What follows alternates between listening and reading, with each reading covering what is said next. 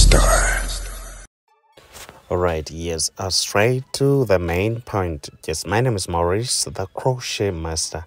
This I'm around as you have seen the highlight. I would like you to give me your time so that you can understand this type of a short piece yes we call it the curly brush piece and you know why i call it brush is just because of how always cut it up to down and um, when we come to the styles of cuttings yeah the haircuts. Yeah when we cut um the brush hair cell i know you understand what i'm trying to say. So this time around please i just want you to give me your time. If you're still new here in this channel please let's just do this. Now straight to the main point here I just wanted to focus here mostly. Uh, some of you guys, when you do a short piece, that sometimes you feel pain when it comes here in the middle. So here there was something that people have been doing like most of the times when you make it too tight when you're here in the middle, it will have to pain you at all. So that middle the center is very very important. And i would like to advise you guys whenever you're doing this type of a cornrow please try to make it as soft as possible when you reach here uh, uh, uh the center the center. That uh, yeah, because if you make it very tight trust me it will pain until the end. So let's try to make sure that uh, we focus on this. And now then another thing that some people when they try to sew here they make it still too tight. Please i beg you let's try to do it as soft as possible. Yes and now when we're done with that we all know that our short piece is always um it takes a little bit longer yeah yeah but yeah, when we play to short piece we just imagine it can take like a month or to two. So what we always do is to add um, the ant each so that it does not pain us at all. And then after all that just try to massage it and then we add this net so that it is not uh, straight to the scalp. Other people uh, just put on this net uh, because uh, they use bond but for me i just put it uh, there for um, for to protect that and still i don't use the bond. So that is the only difference that i do when it comes to that. So we start doing the sewing. Now if when it comes to the sewing we all know that from the beginning like this layer it is supposed to be uh, uh the, the the hair the, the, the piece like we always trim to that, that, that we, we always trim it like over trim it when it comes to the end. So we can only just put uh, the one layer. And then we just just have to keep on adding we just keep on adding until we finish. So um that is the only thing.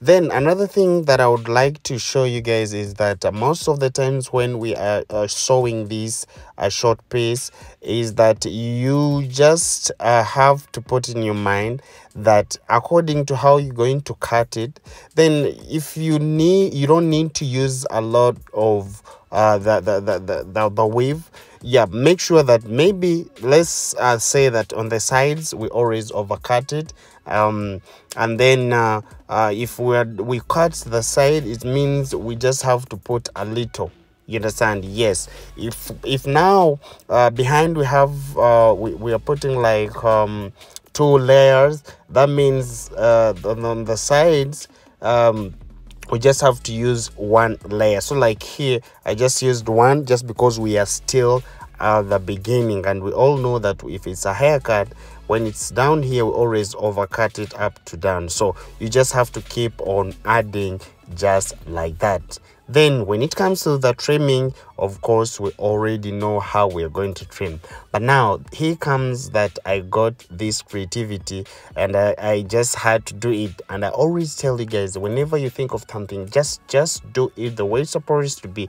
Trust me you will see something good coming from it. So when i thought of doing something like this trust me uh, i had to do it and then um, I imagine that if I trim the hair on the sides to be um, the side to, to, to, to look few, you understand, then on top, and I try to crochet something that is curly, I found out it is going to look something that is very very interesting as you're going to be seeing in this video. So let's just watch this